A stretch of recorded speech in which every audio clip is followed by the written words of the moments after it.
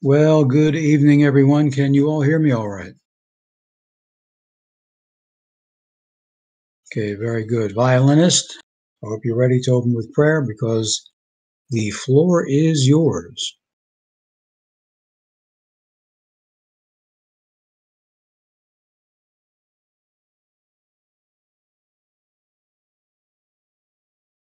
Can everybody hear me okay?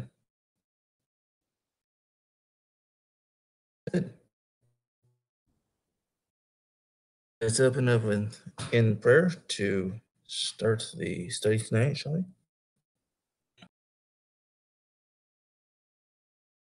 Lord, thank you for the to gather with you and around your words tonight. I pray that you would open our hearts and minds to what you have to share with us tonight, and you would help us understand what you have brought to us tonight as we open your word and look together at what you have to share with us tonight. Thank you for Romans again to come and lead us another great installment on his his Bible weekly Bible study, and I just ask that you would bless him and hopefully, if if it's your will, bring more people tonight to the study. In Christ's name, Amen.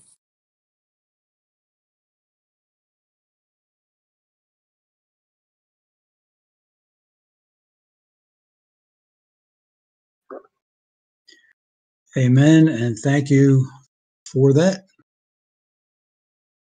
violinist. And good evening, everyone.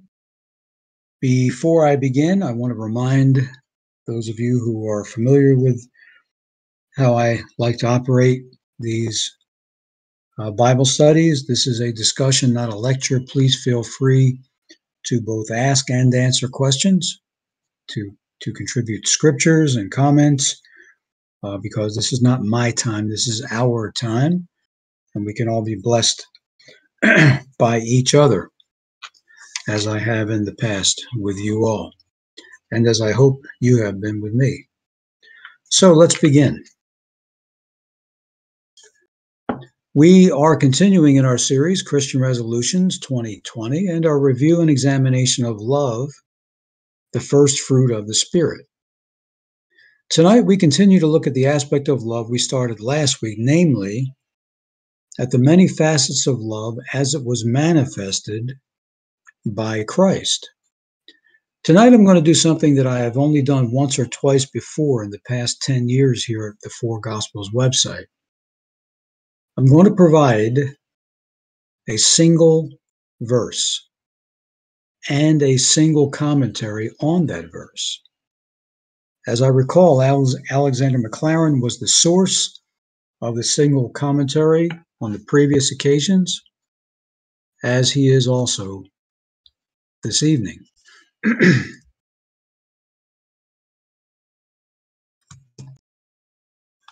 as I believe you will see, Alexander Maclaren, like almost no one else I've used for commentaries, had the ability to draw so much out of a single verse. And it's all quite insightful and edifying. So let's get to the verse and be blessed by what he wrote. Now, you may recognize a major theme in this verse as being reflected in the opening video that I chose.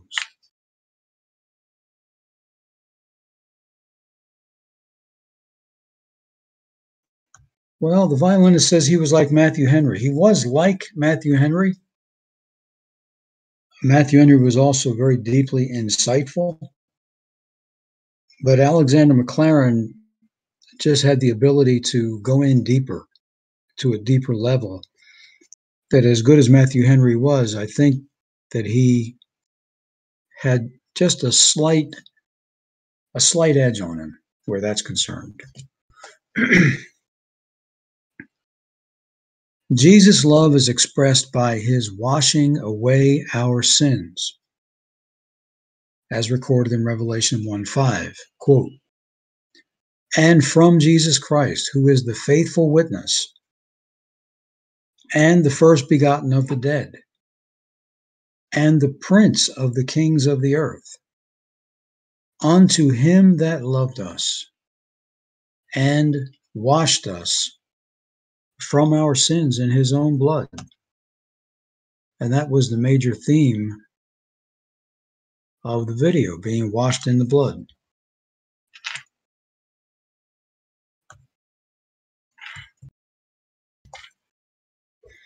Of this, Alexander Maclaren comments A faithful witness is an eyewitness. And that is what Christ claims when he witnesses about God. We speak that we do know, we testify that we have seen. I speak that which I have seen with my Father. There's nothing more remarkable about the oral portion of our Lord's witness than the absence of any appearance such as marks all the wisest words of great men, of having come to them as a result of patient thought.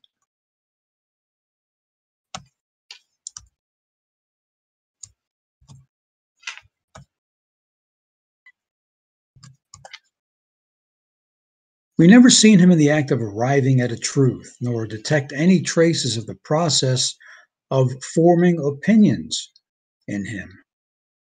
He speaks as if he had seen, and his tone is that of one who is not thinking out truth or grasping at it, but simply narrating that which lies plain and clear ever before his eyes. I do not ask you what that involves, but I quote his own statement of what it involves. Quote, No man hath ascended up to heaven, save he that came down from heaven, even the Son of Man, which is in heaven.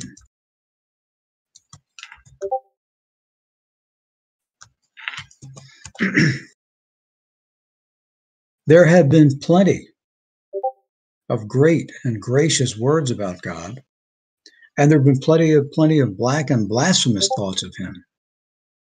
They rise in our own hearts, and they come from our brothers' tongues. Many have worshiped God's gracious, God's loving, God's angry, God's petulant, God's capricious. But God, after the fashion of God, whom Jesus Christ avouches to us, we have nowhere else a God of absolute truth who so loved the world, that is, you and me, that he gave his only begotten Son, that whosoever believeth in him should not perish.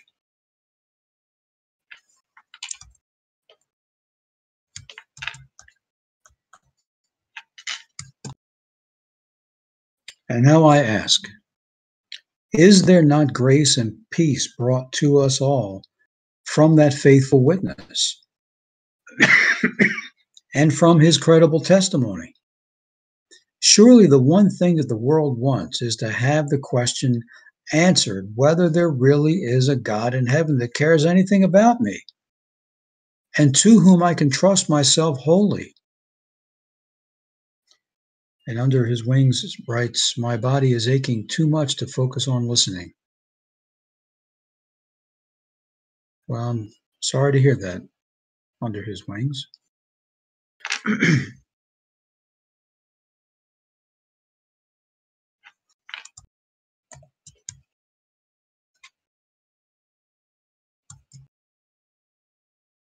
Believing that he will lift me out of all my meanness and sins and make me clean and pure and blessed like himself.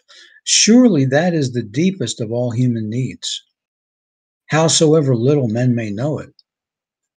And I am sure that none of us can find the certitude of such a Father unless we give credence to the message of Jesus our Lord.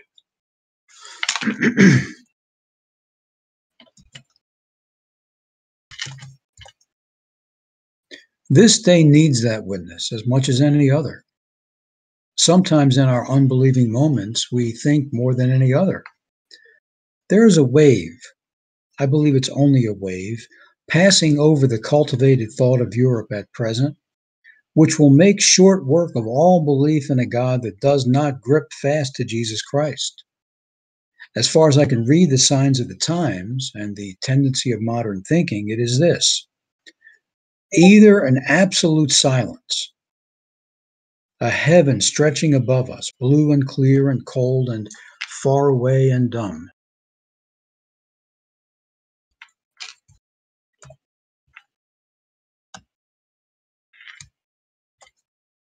or else a Christ that speaks, he or none. The theism that has shaken itself loose from him will be crushed. I am sure in the encounter with the with agnosticism and with and the materialism of this day. And the one refuge is to lay fast hold of the old truth, the only begotten Son which is in the bosom of the Father. He hath declared him.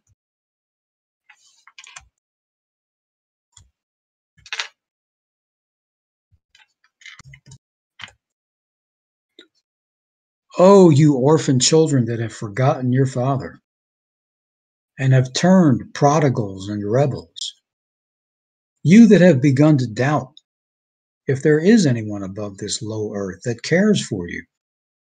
You that have got bewildered and befogged amidst the manifold denials and controversies of this day, come back to the one voice that speaks to us in tones of confident certainty and from personal knowledge of the Father.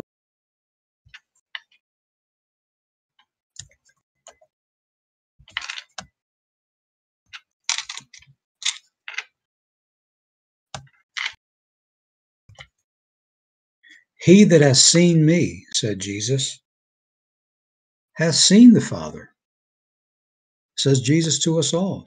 Hearken unto me and know God. Who, whom to know me or rather, whom to know in me is eternal life. Listen to him. Without his testimony, you will be the sport of fears and doubts and errors. With it in your hearts, you will be at rest with God. Grace and peace come from the faithful witness whom Jesus is called in the opening of this verse.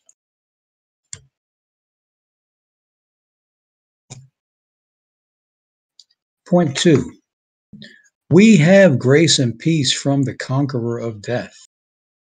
The first begotten from the dead does not pre- precisely convey the idea of the original, which would be more accurately represented by the firstborn from the dead.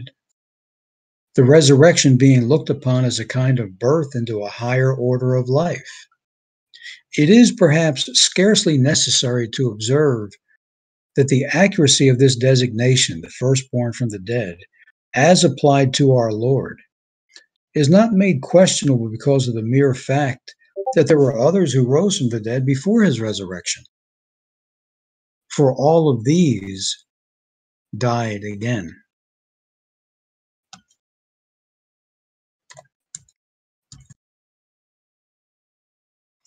And here we're speaking about people such as Lazarus, Jairus' daughter, the young man who uh, was in an actual funeral procession and left his mother, who was a widow with no one to support her. And Jesus stopped the funeral procession and raised him back to life. But all of those people, including Eutychus, who fell out of a third story window and Paul brought him back to life, and Dorcas, who Peter brought back to life, and others, all of those people were resurrected back to life, died again, unlike Jesus Christ. what a strange feeling that must have been for Lazarus and the others to go twice through the gates of death, twice to know the pain and the pang of separation. But these all have been gathered to the dust and lie now waiting the adoption that is the resurrection of the body. But this man being raised, dieth no more. Death hath no more dominion over him. And how is it that grace and peace comes to us from the risen witness? Two or three words may be said about that.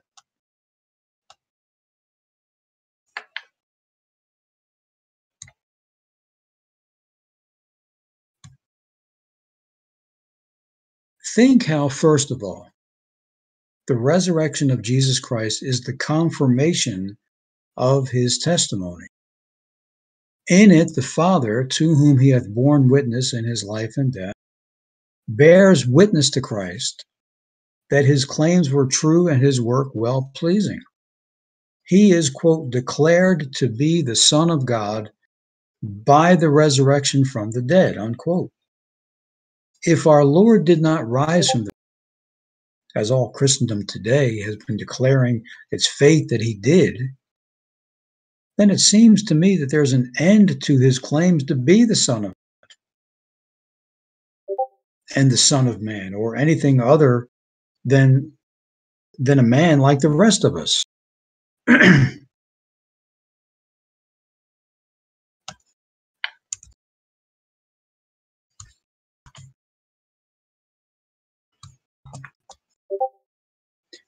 if he be no more naught else than a man, altogether like the rest of us, then there is an end to any special revelation of the divine nature, heart, purposes, and will in his works and character. They may still be beautiful. They may still reveal God in the same sense in which the doings of any good man success, suggest a fontal source of goodness from which they flow. But beyond that, they're nothing.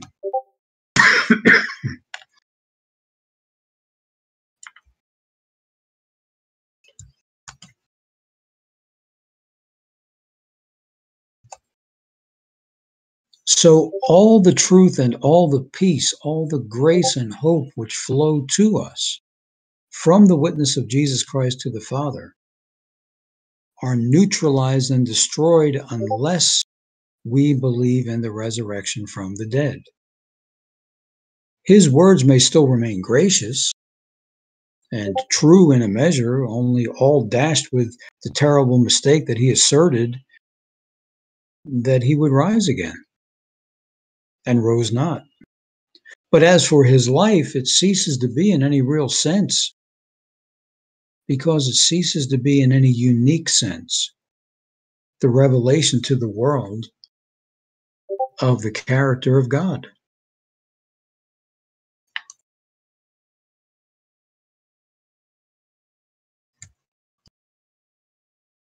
And therefore, as I take it, it is no exaggeration to say that the whole fabric of Christianity and all Christ's worth as a witness to God stand or fall with the fact of his resurrection. If you pull out that keystone, down comes the arch. There may be still a fair carving of some, on some of the fallen fragments, but it is no longer an arch that spans the great gulf and has a firm pier on the other side strike away the resurrection, and you fatally damage the witness of Jesus.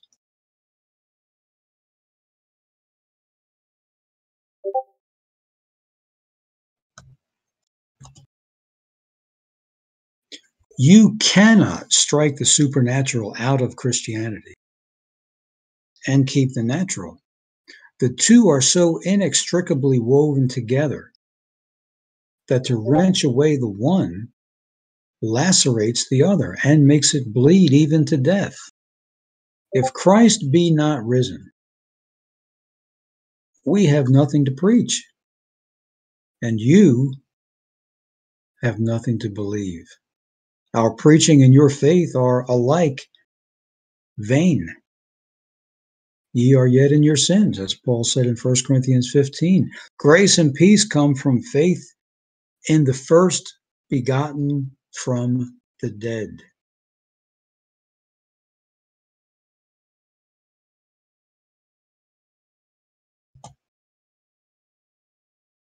And that is true in another way too.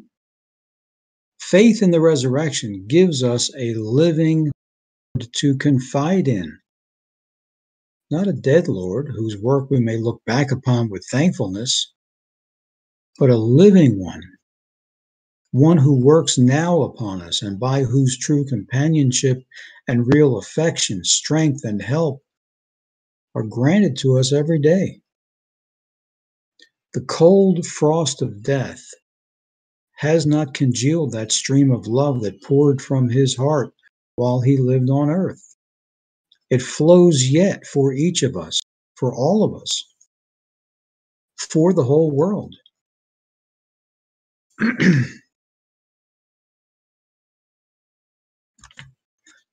and the violinist writes The story of Jesus stands on the fact that he rose again. If he didn't rise, our faith is vain and he becomes one of the biggest frauds the world has ever seen. Well, I sort of agree with all of that, except for the fact that if he died and stayed dead, then okay, you're right. He is the fraud because he kept on saying he would rise in three days. But then his disciples and the whole church are also frauds because they claim to be witnesses of his resurrection, of seeing him you know, resurrected.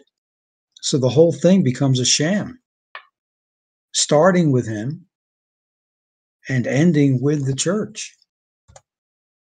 My brother, we cannot do without a living Christ to stand beside us, to sympathize, to help, to love. We cannot do without a living Christ with whom we may speak, who will speak to us. And that communion, which is blessedness, that communication of power and righteousness, which is life, are only possible if it be true that his death was not the end of his relationship to us or, or of his work in the world, but was only a transition from one stage of that work to another.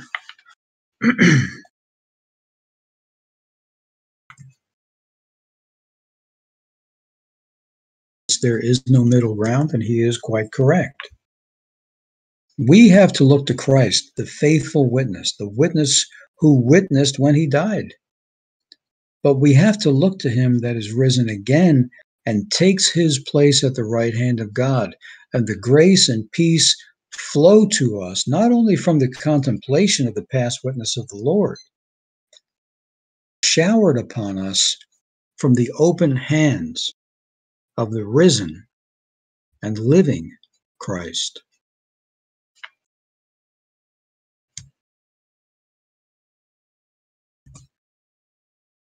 In still another way, do grace and peace reach us from the first begotten from the dead, inasmuch as in him and in his resurrection life, we are armed for victory over that foe whom he has conquered if he be the firstborn, he will have many brethren. The first implies a second. He has been raised from the dead. Therefore, death is not the destruction of conscious life. He hath been raised from the dead. Therefore, any other man may be.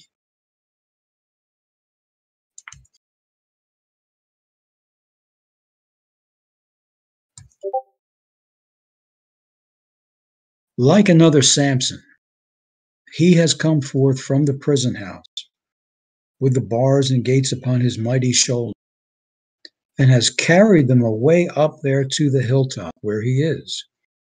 And the prison house door stands gaping wide, and none so weak, but he can pass out through the ever open portals. Christ has risen, and therefore, if we will trust him, we have conquered that last and grimmest foe. And so, for ourselves, when we are trembling, as we all do with a natural shrinking of flesh from the thought of that certain death,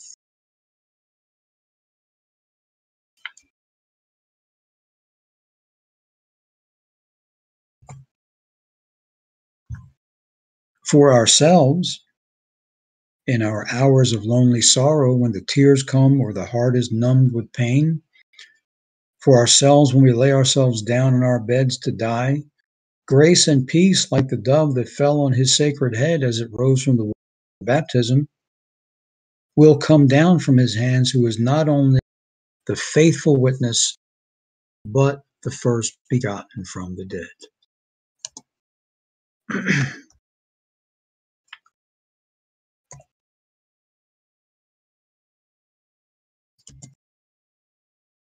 Number three, and lastly, we have grace and peace from the King of Kings.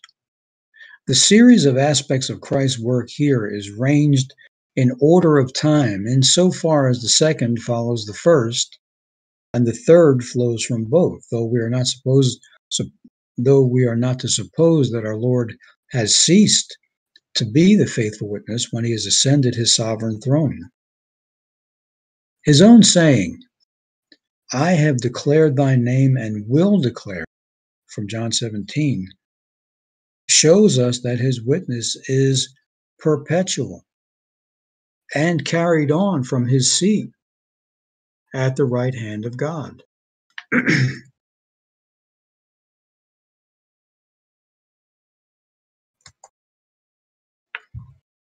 he is the prince of the kings of the earth just because he is the faithful witness. That is to say, his dominion is the dominion of the truth. His dominion is a kingdom over men's wills and spirits. Does he rule by force? No. Does he rule by outward mean? No. By terror? No but because, as he said to the astonished Pilate, he came to bear witness to the truth. Therefore, he is the king not only of not of the Jews only, but of the whole world.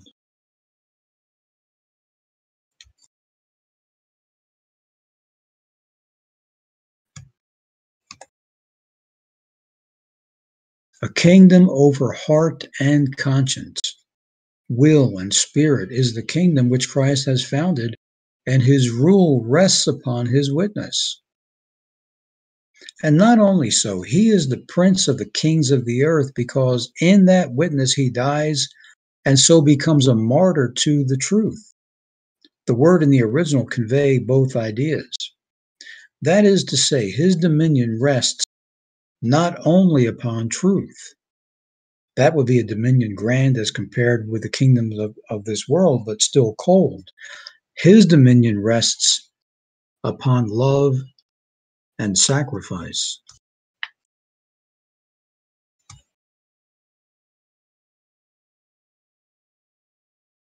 And so his kingdom is a kingdom of blessing and of gentleness. And he is crowned with the crowns of the universe because he was first crowned with the crown of thorns. His first regal title was written upon his cross, and from the cross his royalty ever flows. He is the king because he is the sacrifice.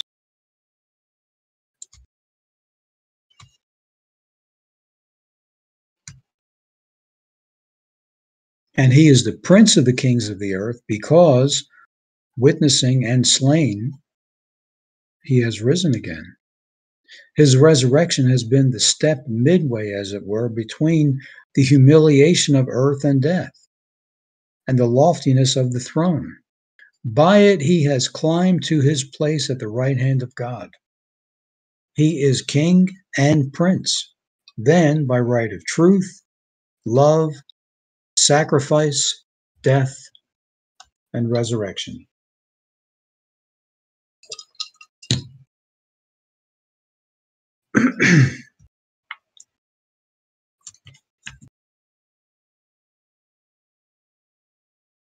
and king to what end? That he may send grace and peace. Is there no peace for a man's heart in feeling that the brother that loves him and died for him rules over all the perplexities of life, the confusions of providence, the sorrows of the world, and the corruptions of his own nature?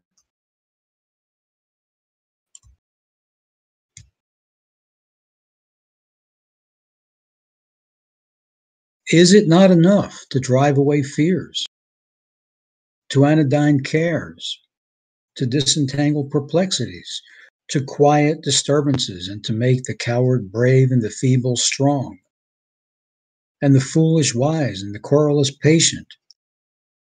To think that my Christ is King, and that the hands which were nailed to the cross wield the scepter and that he who died for me rules the universe and rules me.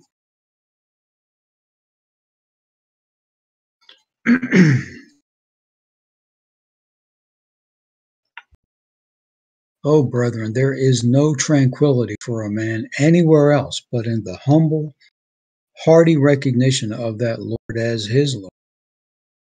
Crown him with your reverence with your loyal obedience, with your constant desires. Crown him with your love, the most precious of all the crowns that he wears. And you will find that grace and peace come to you from him.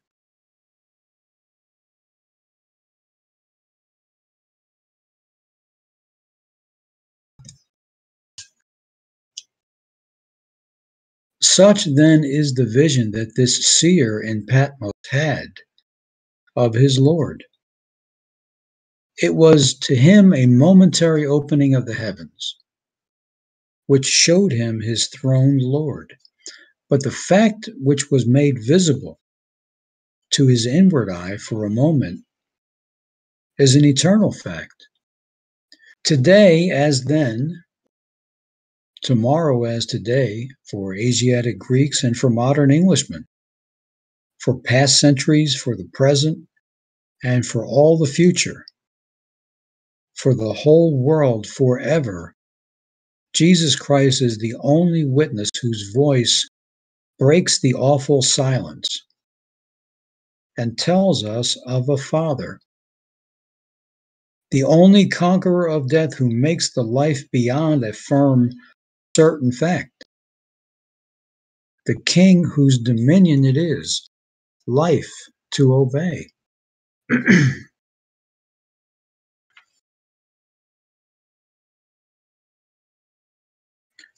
and the violinist asks, why does the Catholic Church still insist on doing the holy sacrifice of the Mass, since in fact it is not needed because Christ was the sacrifice once for all? Sacrifices have since become obsolete since Christ's death on the cross for our sins.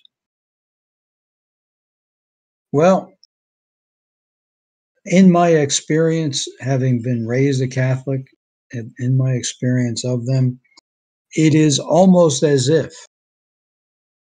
they went out of their way to find out what the Bible said to do and to not do and to undertake the opposite on both. And so, where the Bible speaks of, for example, turning our backs on him, as it says, turning it back, turning our backs on him, as it says, to to crucify him afresh to an open shame you know, the idea of a, a renewed sacrifice is not something that the Bible talks about. Jesus certainly says to commemorate his death. Do this in memory of me. But not to call it a, a renewed sacrifice which is offered daily. Now, Under His Wings asks to go against the Bible. Well, I'll put this in the simplest terms. Jesus spoke to his disciples in the context of religious titles that he did not want them to use. He said, Call no man your master, for you have one master. Call you man, call no man on earth your teacher, because you have one teacher, or rabbi, because you have one. And call no man your father on the earth, because you have a father who's in heaven. This is in the this is in the context of religious titles for the ministry. The Church has to not only ignore that command. Now, it doesn't mean that we don't have a human father. Certainly, he didn't. He didn't uh, uh, complain to anyone that they were sinning when they said, "Is is his father not the carpenter? Is this is his father not Joseph?" We have a human father, but he said not to apply that term to a to a a clerical title like rabbi or master or or father. But the entire Catholic ministry are called father. That's their their title. And the one who is the head of the Catholic Church, his title is the Holy Father. Well, there's there's only one Holy Father and he's never been in Rome. And if anyone finds that disagreeable or offensive, I did not mean to be such, but it's not me that you're upset with because I'm not the one that said it. Jesus said, Call no man in the context of religious clerical titles, call no man father. And that's one of the first things that I came to learn as I was reading the Word of God from my father's Catholic Bible that I I could not find anything Catholic in the Catholic Bible. I couldn't find their teachings there. And I'm sincere when I say I don't mean to offend anyone, but it's not me that's that you're upset with.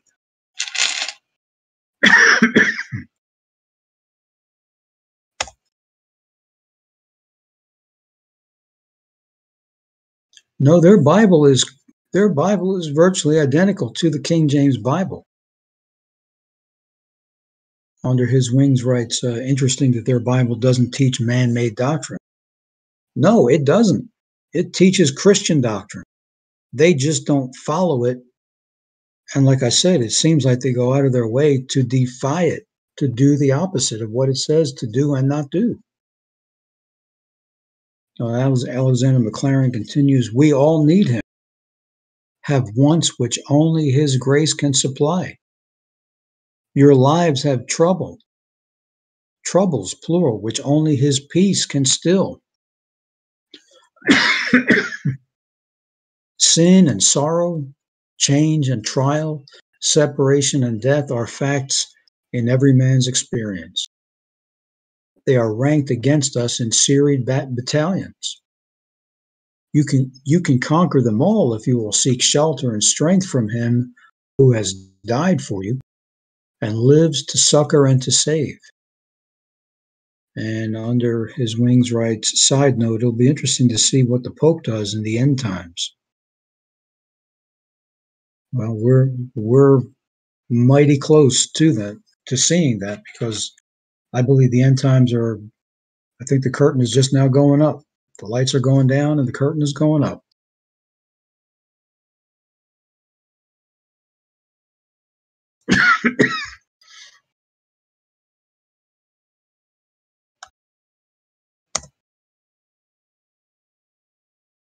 Alexander Maclaren writes, Trust him. Let your faith grasp the past fact of the cross whose virtue never grows old, and the present fact of the throne from which he bends down with hands full of grace. And on his lips the tender old word, Peace I leave with you, my peace I give unto you.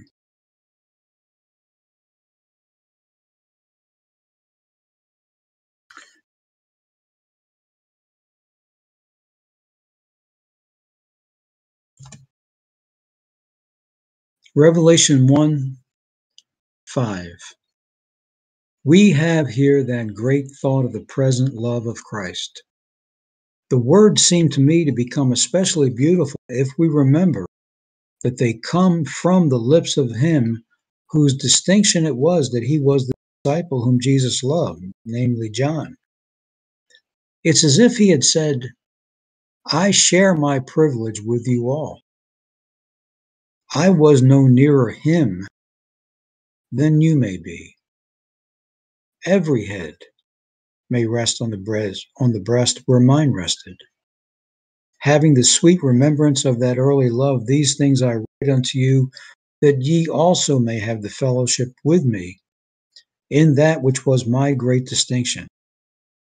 I, the disciple whom Jesus loved, speak to you as the disciples whom Jesus loves.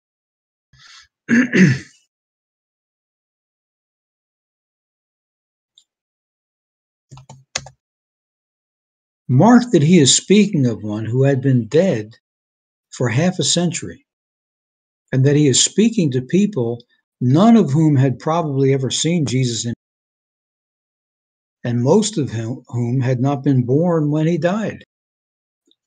Yet to them all he turns with that profound and mighty present tense and says, He loveth us. He was speaking to all generations and telling all the tribes of men of a love which is in active operation towards each of them not only at the moment when John spoke to Asiatic Greeks, but at the moment when we, Englishmen, read his words Christ that loveth us. Now, Alexander Maclaren was a Scottish living in the 1850s. He frequent references in his to England and things like that. But we could easily unplug the word Englishman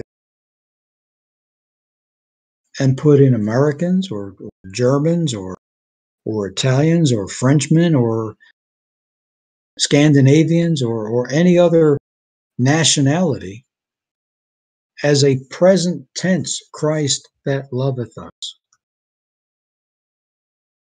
Because, yes, he did die, but he's also the firstborn from the dead. Now, that great thought suggests two things one as to the permanence, and one as to the sweep of Christ's love.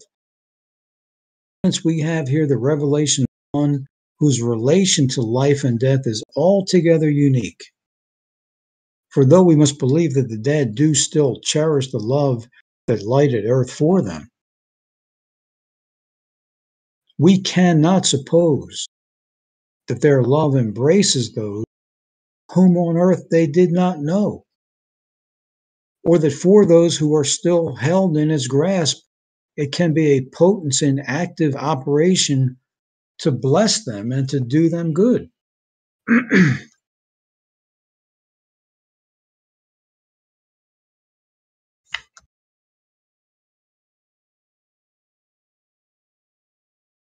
but here is a man to the exercise of whose love, to the clearness of whose apprehension and knowledge, to the outgoing of whose warm affection, the active energy of that affection, life or death, make no difference. The cold which stays the flow of all other human love, like frost laid upon the running streams which binds and fetters, has no power over the flow of Christ's love, which rolls on, unfrozen and unaffected by it.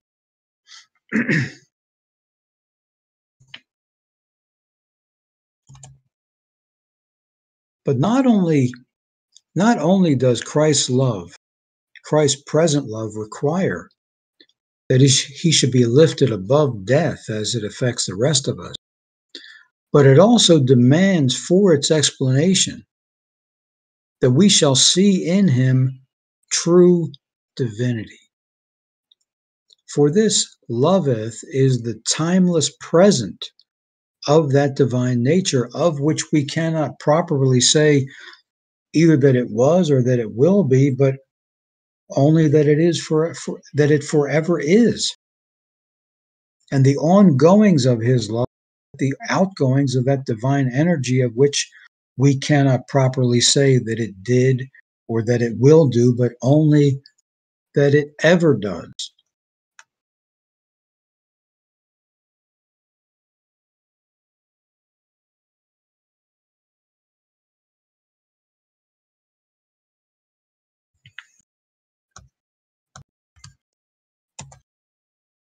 His love, if I might use such a is lifted above all tenses and transcends even the bounds of grammar. He did love, he does love, he will love. All three forms of speech must be combined in setting forth the ever present. Because timeless and eternal love, because timeless and eternal love of the incarnate word.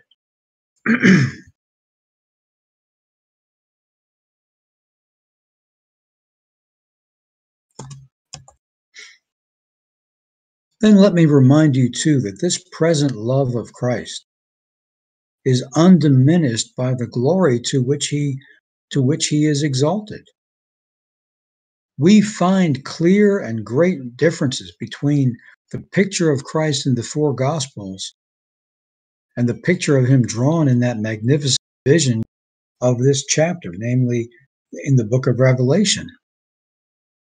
The hand that holds the seven stars is as tender as when it was laid on little children or on lepers in cleansing, or as when it held up the sinking apostle or lifted the sick from their couches, or as when it was stretched on the cross and pierced with nails.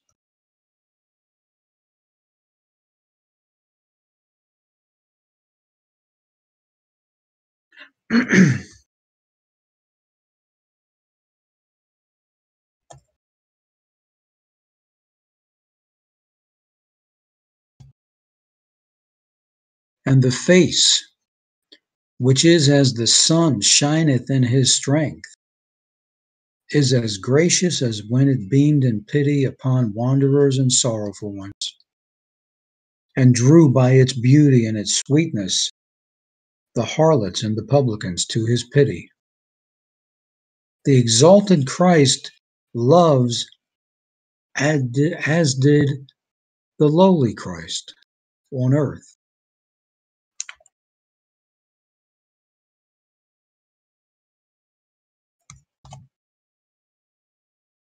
But here we have not only the present and permanent love, but we have the sweep and extent of it. He loveth us. And though John was speaking primarily about a little handful of people scattered through some of the seaboard towns of Asia Minor, the principle upon which he could make the assertion in regard to them warrants us in extending the assertion not only to men that respond to the love and believe in it, but right away over all the generations, successive files of the great army of humanity, down to the very ends of time. He loveth us.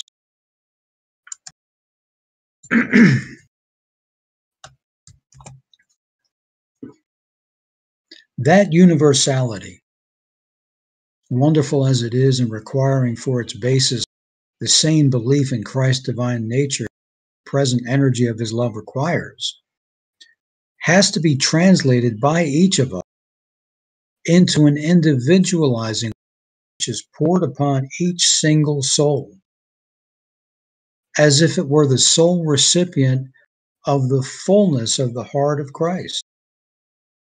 When we extend our thoughts or our sympathies to a crowd, we lose the individual.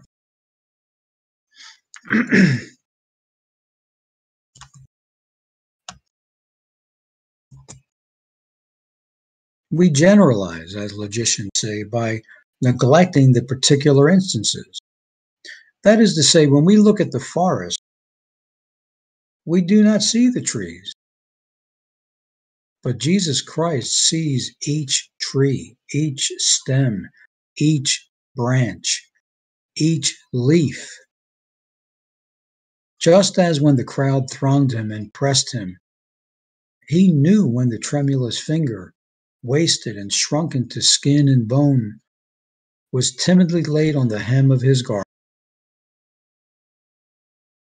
As there was room for all the five thousand, and no man's plenty was secured at the expense of another man's penury, so each of us has a place in that heart.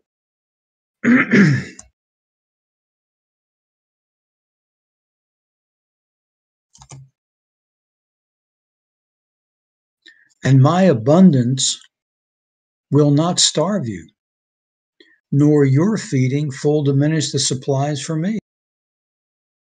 Christ loves all, not with the vague general philanthropy which men love the mass, but with the individualizing knowledge, special direction of affection towards the individual, which demands for its fullness a divine nature to exercise it. And so each of us may have our own rainbow. To each of us, the sunbeam may come straight from the sun and strike upon our eye in a direct line. To each of us, the whole warmth of the orb may be conveyed. And each of us may say, He loveth me and gave himself for me. Is that your conception of your relation to Jesus Christ and of Christ to you?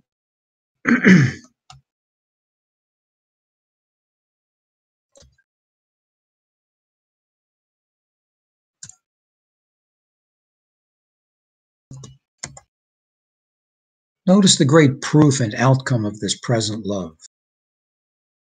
Because it is timeless love and has nothing to do with the distinction of past, present, and future, John lays hold of a past act as the manifestation of a present love.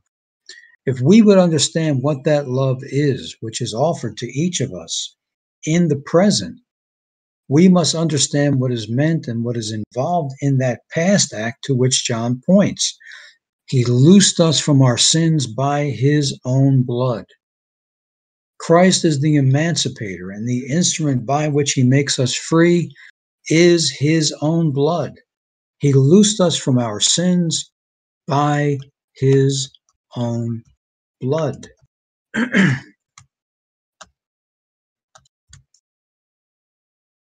that same blood which shed delivers, let me read that again. That same blood which delivers them that trust in Jesus from the guilt of their sin, imparted to men, delivers them from the power of their sin. The blood is the life according to the simple physiology of the Old and of the New Testament.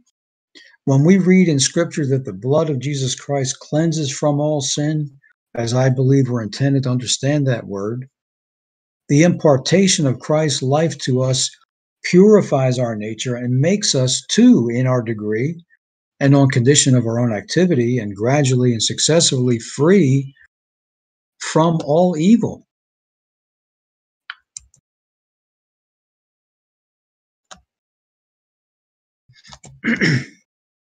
so as regards both of the both aspects of the thraldom of sin as guilt and as habit he has loosed us from our sins in his own blood. That is the great token and manifestation of his love. If we do not believe that, how else can we have any real conviction and proof of anything worth calling love as being in the heart of Jesus Christ to any of us? To me, it seems that unless a man accepts that great thought, he loved me and gave himself for me, and is daily working in my nature to make it and me more like himself. he has no real proof that Jesus Christ cares a jot for him or knows anything about.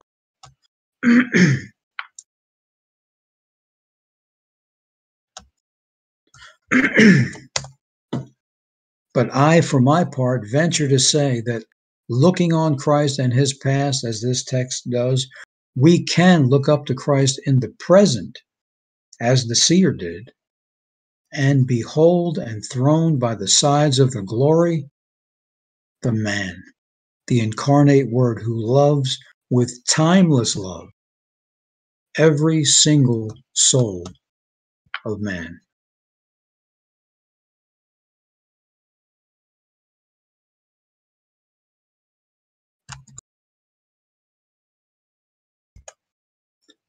That present love and that great past act, which is its vindication and manifestation, are the true glory of God. For his glory lies not in its attributes, we call them, that distinguish him from the limitations of humanity, such as omniscience and omnipresence and eternal being and the like. All these are great, but they're not the greatest.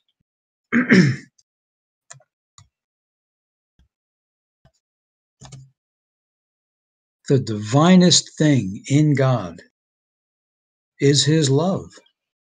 And the true glory is the glory that rays out from him when we, when we behold full of grace and truth, full of love and dying on the cross.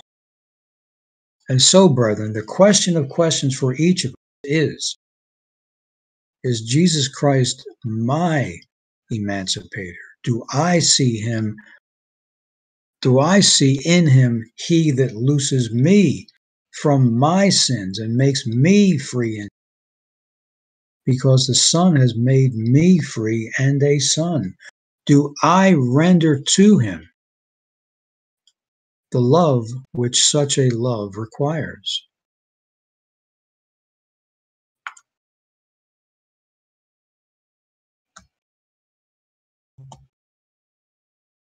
Do I find in him my ever present lover and friend?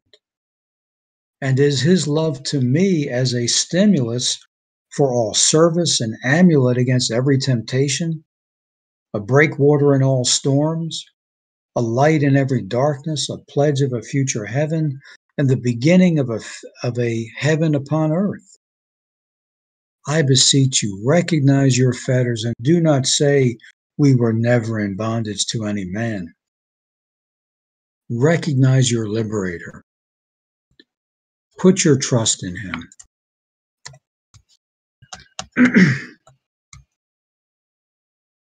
and then you will be able to join here and more perfectly hereafter in that great storm and chorus of praise which is in heaven and on the earth and under the earth and such as are in the sea, and all that are in them, saying, Blessing and honor and glory and power be unto him that sitteth on the throne, and to the Lamb forever and ever. And as you may have thought that I was just about to say, this concludes this evening's discussion Christian Resolutions, Part 9. I hope you've come to see why I have such a high estimation of Alexander Maclaren's writings. I think his commentary on that single verse may have may have been the most powerful thing I've experienced from his writings yet. I mean, I just loved how he put everything together. I, I loved it. And I hope you did too. And I hope you were as as blessed by hearing me read it as I was to read it and to and to share it with you. So we have much more to speak about where the love of Christ is manifested toward us as we examine love, the first fruit of the Spirit, And this will, under his wings, uh, says I will be listening to this later. It will be on YouTube. There will be a link to the YouTube channel in the notes on the forum, which will also be there, so you could read it or listen to it again if you so choose. And I'm certainly uh, happy that both are available. And to the uh, to EYEI for uh, making that available. Well, thank you, everyone. I have uh, I'm going to be turning my mic off now. I'll be here for another minute if you'd like to discuss anything else. Thanks for your attendance. I hope.